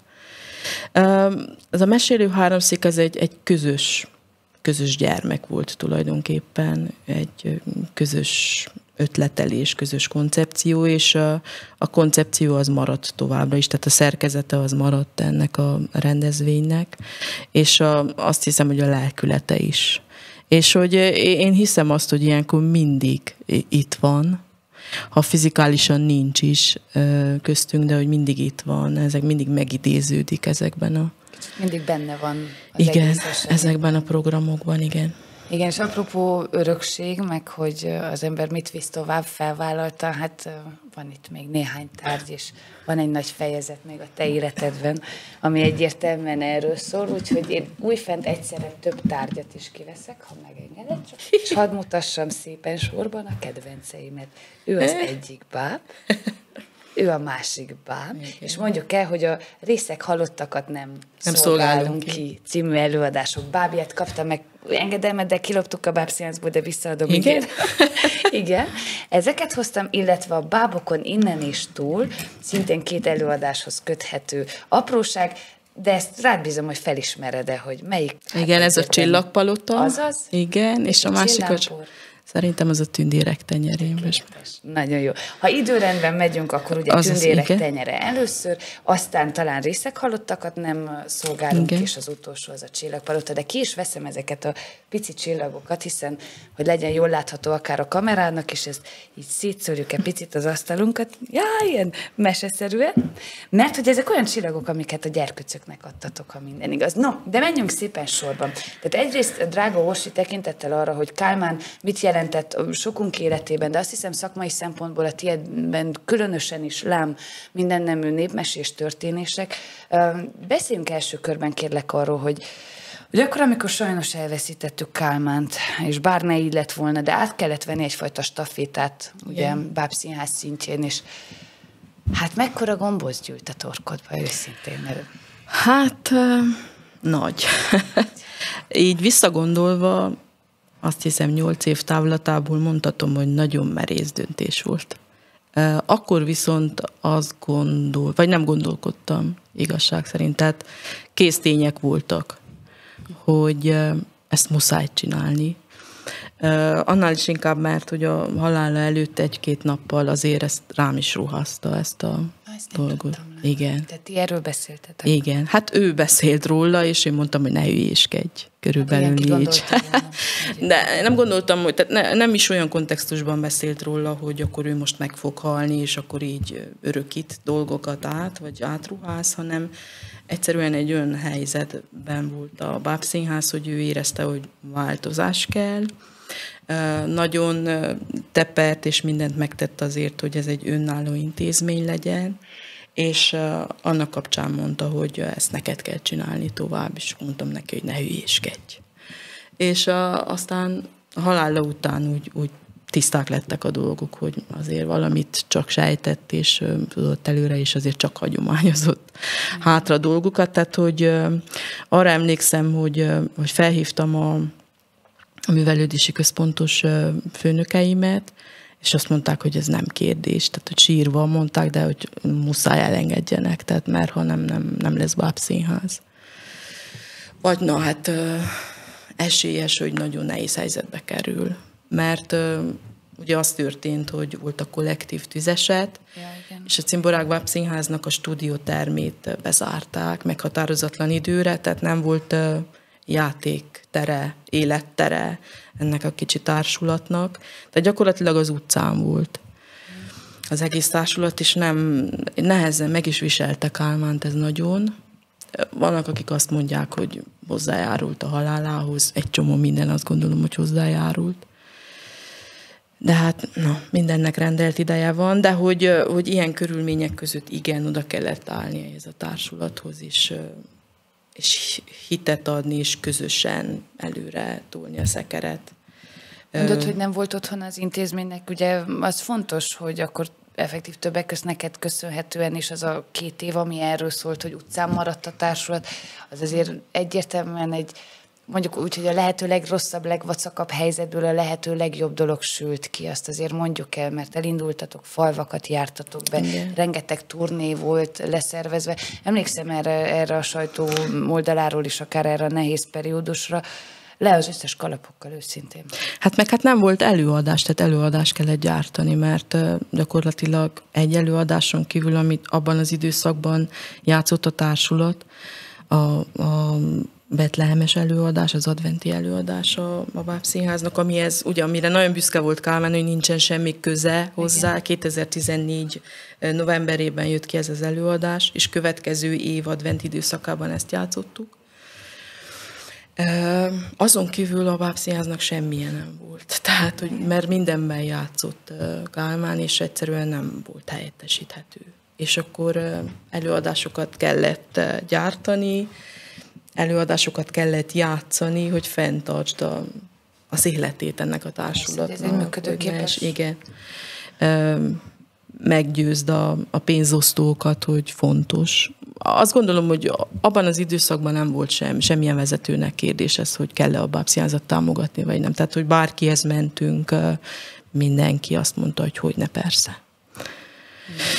Csak Igen. csináljátok. És egyébként milyen jól ám, hogy, hogy nehéz helyzetek, akár a kollektíves következmények miatt, akár Kálmán elvesztése miatt is, de hogy azt azt vonják maguk után, tudod, hogy akár igen, döntéshozók is, de úgy mindenki, és egy kicsit így összezárunk ilyenkor, igen. és a bástya megerősödik, és akkor innen lehet menni tovább. Igen. Meg hát tulajdonképpen az a közösségteremtés is, látod, ami, amiről beszélünk egy-egy népmese, vagy kapcsán, vagy apropóján, lám, amikor a csodák átjönnek a valóság szintjére is, tulajdonképpen ez az, ami, ami szerethető. Hogyha a bábszínház mint Péter Rossi fontos eleme ugye az életében, és mint jelenség egyáltalán megemlítendő, akkor túl azon, hogy átvetted ezt a stafétát, meg te lettél az intézmény vezetője, azért itt nem véletlenül keresem, de hol van? Ha, itt is van a kis csillámporos. Tehát, hogy más szempontból is fontos szerepet játsztál a társulat életében, illetve játszott a társulat is a te életedben. Én, ha jól tudom, akkor tulajdonképpen a tündérek tenyerén volt talán az első olyan előadás, ugye, amihez úgymond közöd volt. Nem nyilvánosan, mert a neved nem volt feltüntetve, de hogy közöd volt. Mesélj kérlek arról, hogy akkor a mindenkori művelődés szervező, a, aki ugye szeret fiatalokkal foglalkozni, aki viszi tovább Kálmán hagyatékát, hogyan gabolyodik bele a színpadi produkciók világába is? Hát ez egy varázslatos világ, azt gondolom, tehát nem volt szerencsém, ami még Kálmán élt, bár már közön volt a VÁP színházhoz, közönségszervezésileg, meg kommunikációs szinten, de nem volt szerencsém próba folyamatba betekinteni. Viszont amiután ő meghalt, és elkezdődtek a próba folyamatok, az elején én valamiért úgy éreztem, hogy nekem is tanulnom kell, mert hogy teljesen kívülállóként nem színházi szakemberként belecsüppentem egy, egy társulat vezetésében, amiről olyan sok mindent azért nem tudok.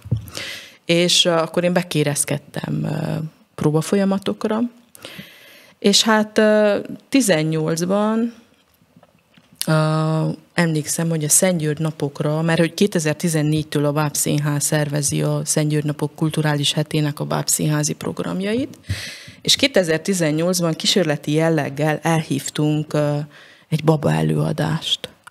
Nagyváradi társulat hozott egy baba előadást, azt hiszem, hogy három vagy négy alkalommal játszották a Kónya Ádám Művelődési Háznak a, a termében, és a csilláron is lógtak. Ugye? Ja, ez, ez jó. Nagy volt az érdeklődés. Nagyon nagy volt az érdeklődés, és akkor eldöntöttük, hogy bár eddig nem csinált ilyen, tehát nem foglalkozott ezzel a, a babaszínházi műfajjal ez a társulat, de hogy elérkezett az idő, hogy kellene csinálni egy ilyen előadást. És akkor én megkerestem hozzá az embereket, mert hogy szakemberek, tehát hogy az ilyen gyerekcipőben jár ez a műfaj, mm. és uh, abból kifolyólag, hogy nekem is volt kicsi gyermekem, a barátnők is azért Érintett mozognak. Is igen, hát hogy ne, de hát mozognak így. ebben a közegben, Prezsmer Bogény nagyon jó dramaturg, hát rakjunk össze egy előadást. Ami a, nagyjából a mi szájunk íze mm. szerint, egy kicsit interaktív, egy, egy kicsit színház, de hogy nagyon nem konvencionális. Mert hogy ez egy tulajdonképpen egy sátorban történő um, akció, 25 perces akció volt, ahol a, a színészek is tündérekké varázsolva, mindenféle hangszerekkel és eszközökkel a babákat és az anyukájukat varázsolták. Ja, Na, és hát ennek a, a próba folyamata ez rendkívül izgalmas volt. Tehát ez egy olyan fajta alkotó munka, amit, én azt gondoltam, hogy hú, ezt nagyon szeretném csinálni. És lám, csináltad is, ez a jó. Hiszen Igen. akkor itt vannak rögtön a kis csillagaink is. Az évszámok hogy vannak? Mikor volt a tündérek tenyerén pontosan? Tündérek tenyerén 2018-ban. 18, és ez 23-as. Igen. Hát azért eltelt kerek pont öt esztendő. Igen. Egyrészt az a kérdésem, hogy mi történt, hogy öt évig kellett várni egy újabbra. Másrészt, ugye ez volt az az előadás, ahol úgymond már felvállaltan részt, részt vettél benne, vagy hogy alkotát rendezőként konkrétan ott van a te neved is. Hogyan fejlődött Orsi, mint személyiség ez az öt év alatt, hogy idáig jutottunk? Hát azt hiszem, hogy bátrabb lett. Azért. Tehát, hogy nagyon sok belső konfliktusom volt nekem abból kifőleg, hogy nem tettem oda a nevemet a 18-as tündérek tenyerén előadáshoz mert tényleg nagyon sok munkám benne volt, és folyamatosan mondta Éva, hogy de hát ezt közösen csináltuk, mondom, jó, de az én nevem nem szerepel. Na, tehát azt gondoltam, hogy most akkor tisztítsuk le ezt a dolgot, és vállaljuk fel, tehát hogy bátrabb lett Orsi ennyi, és, és felvállalja most már azokat a hiányosságait is, amik megvannak, mert hogy bábmozgatás technikában azért én még mindig nem vagyok szakember. Viszont koncepciót, szövegkönyvet, dramaturgiát azért már elég ügyesen tudok csinálni, megtanultam közben. Igen, meg a bátorság is megjött hozzá, meg hát valószínű, tudod, ez is olyan, mint minden más egyébként az életben. Lám az első háromszéki diák napokhoz Igen. képest, a nem tudom, hanyadik, mondom a hetest, hogy szép szám legyen, tudod, vagy meseszám, mesés szám legyen, de hogy minden egyes ilyen folyamatban valahol, valahol tanul az ember. Viszont ami, ami tanulság egyrészt, apróból egy picit visszautalva a covidos időszakhoz, és itt most nyúlok a részek halottakat nem szolgálunk ki előadás bábjaihoz is, hogy ami tanulság, akár intézményvezetőként, akár belelátva ugye magába az alkotó folyamatban is, az az, hogy, hogy ebben a faramúci bürokratikus és egyébként Covid által nehezített bürokratikus világban is hogyan tud az ember akár intézményvezető szintjén is megtanulni létrafokokat és lépcsőfokokat mászni. Mert arra emlékszem a covidos időszak apropóján az előadás, ugye mondjuk el egy nagyon izgalmas kirakat színházi produkcióról van szó, tehát az egész létrejötte olyan olyan bizonytalan volt. Hát a Manó se tudta, hogy lesz-e belőle valami, csak abban bíztunk mindannyian mi a másik oldalról, a néző oldaláról, hogy lesz, és azt tudtuk, hogy ha lesz, akkor jó lesz. Ez a periódus, egyszer, mint Covid, részek halottakat nem szolgálunk ki, intézményvezetés, menedzsment, ez hogyan csapódik le most már ugye újfent egyfajta távolságból nézve?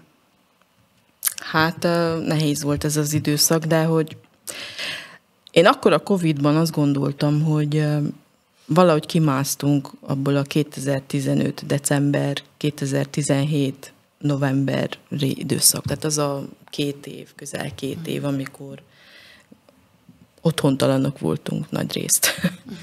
És azt gondoltam én akkor, hogy annál nehezebb már nem, nem hiszem, hogy lehet. És akkor jött a Covid. És Sokunknak okozott meglepetés, sajnos. Igen. igen, okozott meglepetés, de hát a, ez a társulat azt hiszem mindig arról tett a tanúbizonyságot, a mindenkori társulat, mert menet közben mindig változnak a tagjai, hogy akarattal és ötletességgel mindig lehet újat kihozni. És nagyon büszkék vagyunk erre a részek halottakat nem szolgálunk ki előadásra, mert ugye ennek ez úgy páratlan, azt hiszem, a, a színházi palettán is. Az, hogy ez, ez nehéz volt produkcióként kihozni, vagy a nézők elé dobni, az egy más történet, hogy a minden fajta állandóan változtatott szabályoknak sosem tudtunk megfelelni, és nem tudták besorolni az előadást, annyira újszerű volt, Igen hogy nem tudták megállapítani, hogy ez most kültéri vagy beltéri rendezvény, és akkor hova sorolják, és Igen, sose kaptunk rá engedélyt. Azt mondjuk el gyorsan, csak a tisztánlátás véget, hogy ugye úgy volt látható ez az előadás, hogy kirakaton belül az épületben ti, hát az alkotók voltak ott a Igen. bábokkal, ott zajlott maga a produkció, de a nézőtér az az épület kív, külső részére volt felépítve, annak megfelelően nem tudom hány méteres távolságokkal, stb. De hogy ezért volt ilyen faramúci valóban, Igen. ahogy mondod, hogy az engedélyek meg lettek-e adva, avagy sem. De meg lettek adva néhányszor, és volt szerencsénk látni, látni is ezt az egészet. És azért is gondoltam egyébként, hogy nagyon jó lesz a mindenkori bábszínház kérdést példázni, ez a két báb, mert egyébként én hiszem azt, hogy konkrétan ez a produkció talán pont az a picit újszerű irány, amerre megy a bábszínház. Egy, egy vagány új irány kezd megjelenni, én azt látom a cimborák életében, mert hogyha visszautalunk akár a Kire ütött ez a gyerek című előadásra, ugye apropó Kálmán, tehát volt több olyan előadás, ami egyértelműen mondjuk felnőtt közönséget szólított meg, vagy felnőtt közönséget is, de ez az abszurd vonal a részek halottakkal, talán ez, ez az őrkényi vonal, ez egy kicsit, kicsit kinyitja a kapukat új irányba, és az a kérdés fogalmazódott meg már akkor, és lám akkor most fel is tudom tenni a kérdést neked, hogy vajon ez egy tudatos elhatározása, döntése részedről, hogy a népmesék csodás világával együtt, hogy Benedekelekkel együtt, hogy esetenként akár őrkényel együtt, de hogy vinni ezt a Cimborák Bábszínházat valami olyan irányba, ami életképes tud lenni 2050-ben, vagy legyünk bátrak 2150-ben is, hogyha úgy alakul. Igazából én csak igazodtam a társulatnak a, az igényeihez és szándékaihoz. Tehát nekük volt uh, ilyenfajta igen, igény, hogy, hogy nyissunk ez felé, és mondtam, hogy igazából ez a legjobb pillanat, ez a covidos időszak erre, hogy kísérletezzünk ilyen jelleggel. Ennyi volt az én részemről a, a, a koncepció. Persze én is részese voltam, mert nekem is nagyon izgalmas volt, hogy akkor őrkény világával foglalkozunk, és ezt hogy lehet bábszínpadra adaptálni. Ez egy nagyon-nagyon izgalmas próba folyamat volt. A tapasztalat így most visszatekintve az, hogy azt gondolom, hogy a Sepsi Szentgyörgyi közönség nem volt még erre felkészülve. Hogy gondolod? Kellőképpen. Nagyon nehéz volt a közönség szervezése ennek az előadásnak. Lám kulisszatitok, én nem is sejtettem. Igen, tehát hogy van egy réteg, aki nagyon vevő, bábszínházba járó, igen, ilyenek, mint te, és még, mit tudom én, 100-200 ilyen ember, és ezzel nagyon kifulladt a közönsége ennek az előadásnak. Nagyon nehezen tudtuk megszólítani a középiskolás diákokat. Pedig nekik mennyire Igen, igen, lenne. igen, és tehát annyira újszerű volt, és annyira megfoghatatlan, és annyira fura címe volt az előadásnak, hogy nem, tehát na- nagyon nehezen, nagyon nehéz volt a közönség szervezése, viszont ez tipikusan egy fesztivál előadás. Igen volt, ami sajnos nem, nem tudott túl sok fesztiválra eljutni. Egyedül a Székelyudvarhelyi Dráma Fesztiválon voltunk, képzeld el, egy cipősbolt kirakatában játszottuk az előadást, teljesen átrendeztük a cipősboltot. És nagyon tetszett a, a fesztivál közönségnek, írtak is aztán róla, hogy ez egy milyen formabontó hát előadás. Látod, ilyenkor a szakma azért teljesen más szemüvegen Igen. keresztül vizsgál egy-egy előadást. Igen. De aztán a társulati tagok távozásával le is kellett vegyük a repertoáról, úgyhogy én nagyon sajnálom, hogy ez az előadás nem tudta megélni a fénykorát. Ja, én is. Én is. Most el is szomorodtam, szomorodtam egy picit, mert igen, hogyha már itt vagyunk, és lassan ugye zárjuk is a beszélgetést, de erről még ejtsünk néhány szót, mert ugye egyrészt mondtad, már külön kiemelted, hogy a mindenkori társulat, tehát egy folyamatosan változó kis közösségről van szó, de akár igen a részek halottak kapcsán is, hogy azért mondhatni, jönnek, aztán meg elmennek emberek igen. a cimboráktól. Ezt egy intézményvezető hogy, hogy éli meg? Merjem-e megkérdezni, hogy személyes csalódás ez, vagy valahol együtt jár akár a, a bábszínházi működéssel Erdély szintjén. Nem, nem látok ebbe annyira bele. Hát én azt gondoltam az elején, hogy igen, hogy én vagyok a, az okozója ennek, hogy jönnek, mennek az emberek, és nem tudnak gyökeret verni, vagy nem tudnak úgy azonosulni azzal a fajta hagyatékápolással, ami nekünk szívügyünk, és nagyon fontos és kipróbálják magukat, aztán továbbállnak, és ez mekkora nagy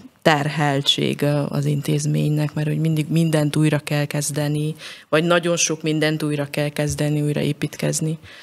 De aztán rájöttem az évek folyamán, hogy nem, ez teljesen a személyemtől független. Ilyen most a, ilyen most a szakma.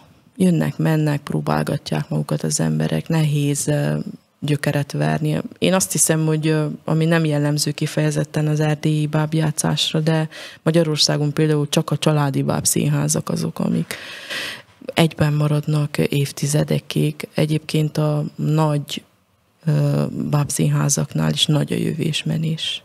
Hát ugye van nagy, hogy amikor mit tudom, több fős társulat, meg akár állami intézményesített keretre gondolsz. Igen, igen, igen, igen, de hogy a hogy bábszínészek egy-két évet, kettő-hármat maradnak Érdekes, egy helyen, látom, és, és aztán továbbállnak, és kipróbálják máshol is magukat.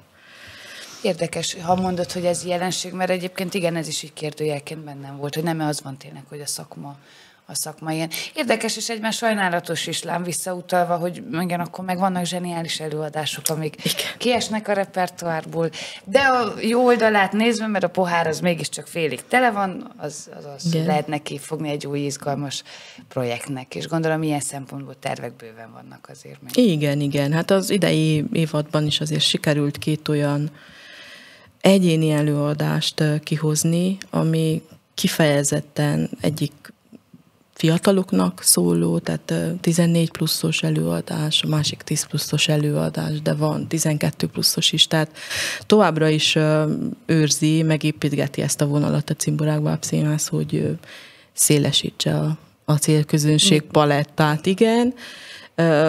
Arra kell most, így az, az évad zárón is erről beszélgettünk, arra kell most figyeljünk nagyon, hogy a, az alapkorosztályunkat ne hanyagoljuk.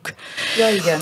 Mert, az igen, igen, tudod, mert hogy az óvodás korú gyerekeknek van a legnagyobb szükségük a bábszínházra, és nekük nem született az utóbbi években előadás.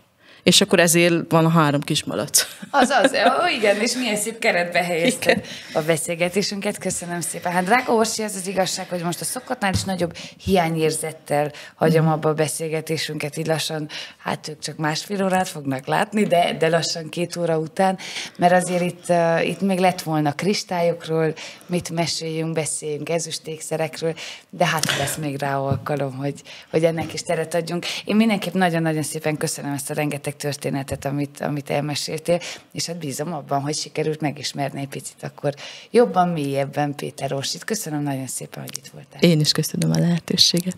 Nektek is nagy köszönet jár természetesen ezen a héten is, hogy itt voltatok velünk. Egy hét múlva újra jelentkezünk már mondani sem kell. Remek interjú alanyjal, remek témákkal, remek tárgyakkal, nagyon jó lesz, úgyhogy számítunk rátok akkor is, és ne felejtjétek, nagyon fontos, folyamatosan érkeznek, de én telhetetlen vagyok, úgyhogy várok még, várok még nagyon sok ötletet, tippet arra vonatkozóan, hogy kit hívjunk meg ide a Pártus stúdiójába. Kövessetek be mindenhol, ahol kell, nyomjatok csengőt ott, ahol kell, és egyébként meg tényleg tartsatok velünk jövő csütörtökön. Addig csupa szépeket, sziasztok! Ez itt a Pertú, háromszék legközvetlenebb portai podcastje.